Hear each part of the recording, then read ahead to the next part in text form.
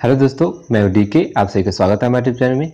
दोस्तों, आज के वीडियो में हम आपको बताएँगे कि आप अपने खाते या बैंक अकाउंट का नया एटीएम कार्ड बनवाना चाहते हैं या एटीएम कार्ड को बंद करवाना चाहते हैं तो उसके लिए एप्लीकेशन लेटर कैसे लिखा जाता है, आवेदन पत्र कैसे लिखते हैं, यही हम आज के वीडियो में बताएँगे।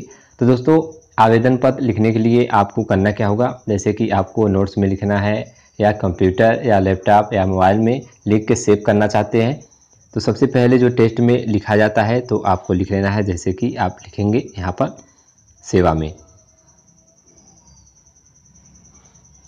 इस तरह से लिखेंगे, नीचे एक कामा देंगे और आपको करना क्या है, सबसे ऊपर रखना है। इसके बाद अगला टेस्ट जो लिखना है आपको तो अगले टेस्ट में आप लिखेंगे क्या? यहाँ पर लिखेंगे शाखा प्रबंधक या बैंक मैनेजर, जो भी लिखा जाता है। तो आप यहाँ पर लिख लेंगे श्रीमान। यहाँ पर इस तरह से लिखेंगे श्रीमान, और यहाँ पर आपको लिख लेना है शाखा, और उसके बाद आपको लिखना है प्रबंधक। यहाँ पर इस तरह से लिखेंगे प्रबंधक। और इस टेस्ट को करना क्या है? आपको नीचे रखना है यहाँ पर। इस तरह से आपका हो जाएगा। दोस्तों, इसके बाद जो टेस्ट लिखना है, यहाँ से हम अगला जो टेस्ट लिखेंगे तो अगले टेस्ट में आपको लिखना क्या है? मैं आपको ये भी लिख के बताता हूँ। तो यहाँ पर जैसे कि आपका जो भी बैंक है, Allahabad bank, Bharatiya state bank, central bank, Punjab bank जिस, जो भी बैंक है, आप यहाँ पर लिख लेंगे तो हम यहाँ पर बैंक का नाम लिख लेते हैं। इस तरह से आपको लिखना है। तो हम लिखते हैं भारतीय स्टेट और यहाँ पर लिखेंगे बैंक ऑफ़ इंडिया तो यहाँ से आपको इस तरह का टेस्ट जो है, आपको लिख के यहाँ से डन करना है। और इस टेस्ट को सबसे पहले आप इसे छोटा कर लेंगे। छोटा करके आप यहाँ पर रख लेंगे। इस तरह से आपका हो जाएगा। दोस्तों इसके बाद आपको करना क्या है? अगला टेस्ट में जैसे कि लिखना है, अगर आपको नया एटीएम कार्ड चाहिए या उसको बंद कराना है तो जो भी समस्या है, सबसे पहले आप यहाँ पर लिखेंगे तो हम यहाँ पर लिख लेते हैं, जैसे कि हमको मान लीजिए नया एटीएम कार्ड चाहिए तो आप यहाँ पर लिख लेंगे एटीएम और यहाँ से लिखेंगे कार्ड। और यहाँ पर आपको लिखना है बनवाने, यहाँ पर लिखेंगे बनवाने। और यहाँ पर आपको लिखना है हेतु और यहाँ पर लिखेंगे आवेदन पत्र।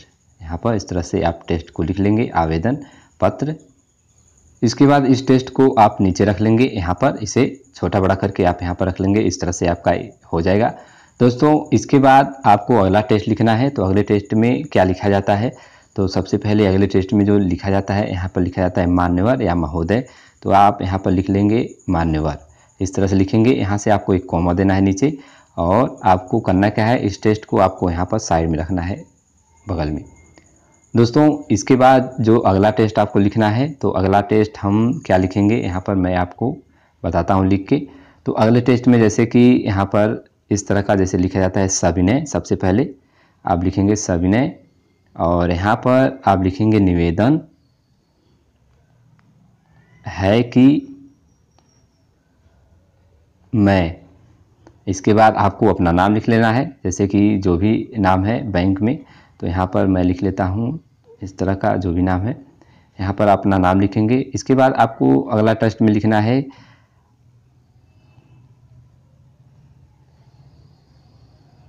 आपके यहाँ पर लिखेंगे बैंक, और उसके बाद आपको का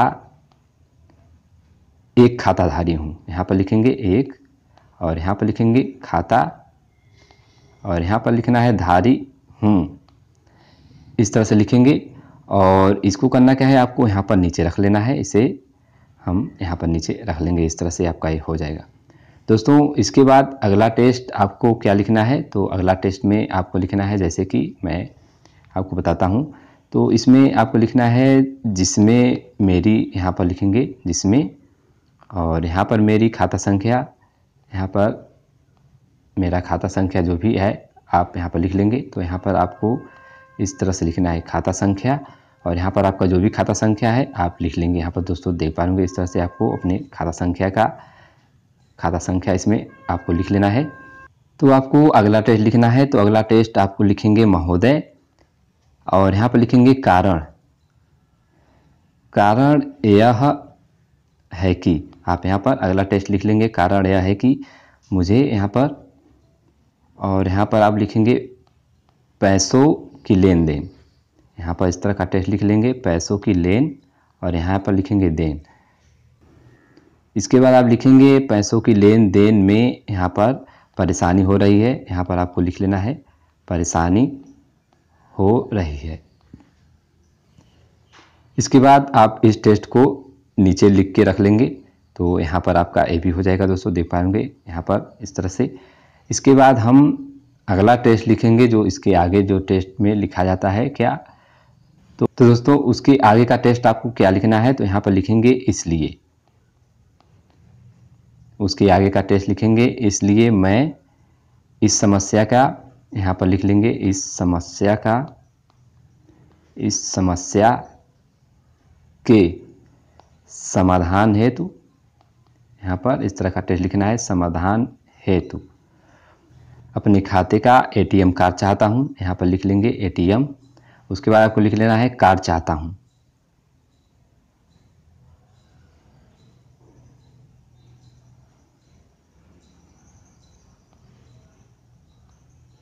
और इस टेस्ट को आपको नीचे रखना है, यहाँ से छोटा करके आप नीचे रख लेंगे, इस तरह से आपका ए भी हो जाएगा।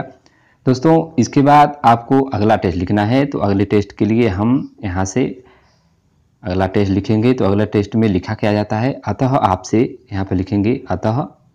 उसके बाद आप लिखेंगे आपसे निवेदन है। यहाँ पर आपसे निवेदन है कि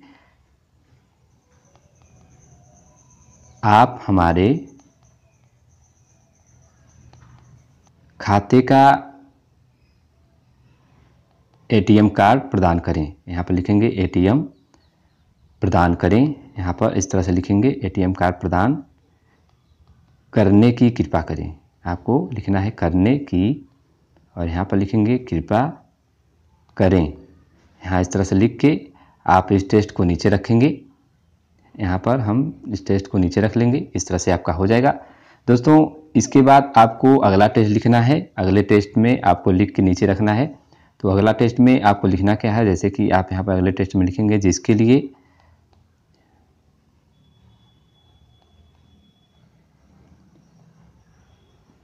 मैं सदा आपका, यहाँ पर लिखेंगे, मैं सदा आपका आभारी रहूँगा। यहाँ पर लिखेंगे, आभारी।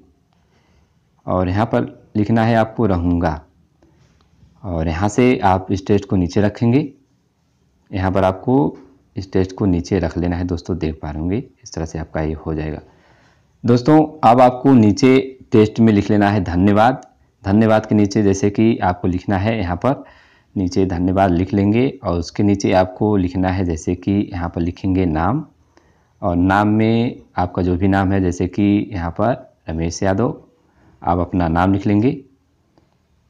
और उसके बाद आपको करना क्या है?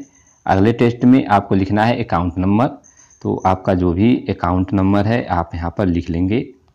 अकाउंट आप लिखेंगे नंबर जो भी आपका अकाउंट नंबर है, आप यहाँ पर लिख लेंगे अकाउंट नंबर अपना। उसके बाद दोस्तों, करना क्या है? आपको अपना नीचे मोबाइल नंबर लिखना है। तो आपका जो भी मोबाइल नंबर, खाते से लिंक है, आप अपना यहाँ पर मोबाइल नंबर लिख लेंगे दोस्तों। तो यहाँ पर इस तरह से आप अपना मोबाइल नंबर लिख के रख लेंगे, आपका ए भी हो जाएगा। तो दोस्तों, उसके नीचे आप टेस्ट में लिखेंगे डेट व दिनांक, जो भी डेट है, आप लिख लेंगे यहाँ पर। यहाँ पर डेट को आपको लिख लेना है। यहाँ पर इस तरह से आप डेट को लिख लेंगे। तो दोस्तों, यदि आपको एटीएम कार्ड का आवेदन पत्र लिखने या समझने में कोई दिक्कत या परेशानी हो रही हो तो आप हमारे टेलीग्राम चैनल को ज्वाइन कर लीजिएगा। उसका लिंक आपको नीचे डिस्क्रिप्शन में मिल जाएगा। आप वहाँ पर कमेंट करके बता सकते हैं अपनी समस्या। या आप यहाँ पर कमेंट करके भी बता सकते हैं कि आपको क्या परेशानी हो रही है, क्या समस्या हो रही है। तो दोस्तों, उम्मीद करते हैं आपको ये वीडियो पसंद आई होगी। अगर आपको वीडियो पसंद आई है तो वीडियो को लाइक, चैनल को सब्सक्राइब ज़रूर कर लीजिएगा। तो मिलते हैं अगले वीडियो में। धन्यवाद।